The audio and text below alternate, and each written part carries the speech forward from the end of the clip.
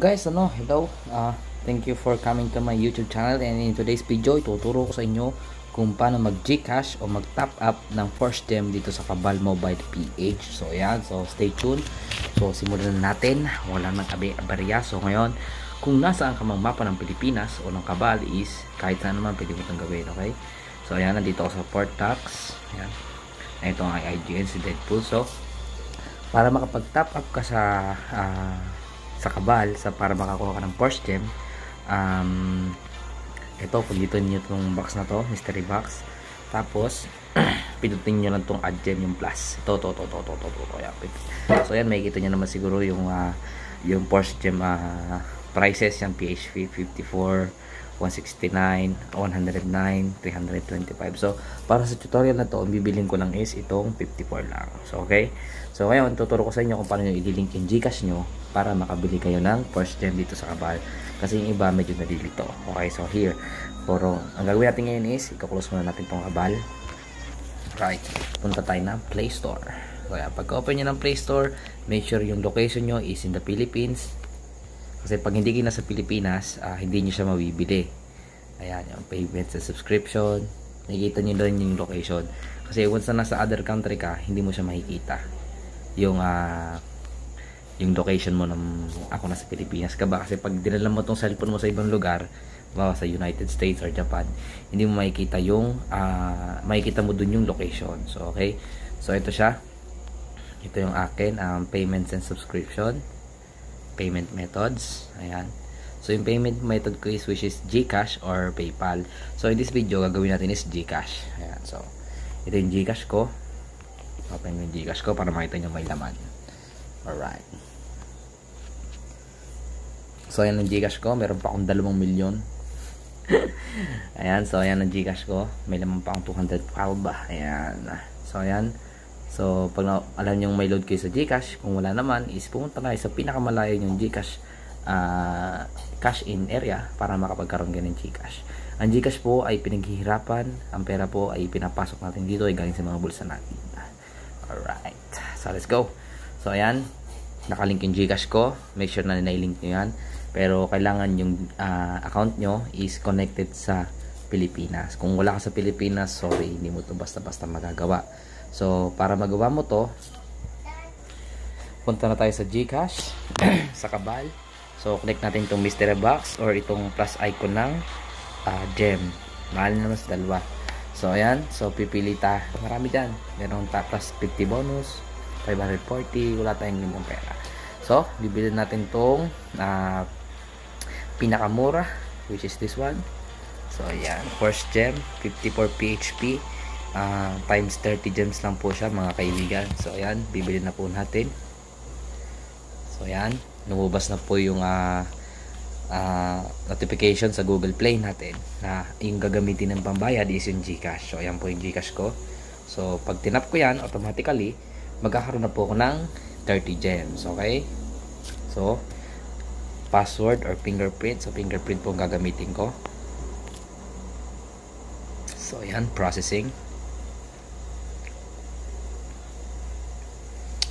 Alright, payment successful. So ayan, once na dumating yan, hindi po siya basta-basta mapupunta dun sa taas. Dito po sa ating uh, sa ating sa ating gems dito, dito po sa taas.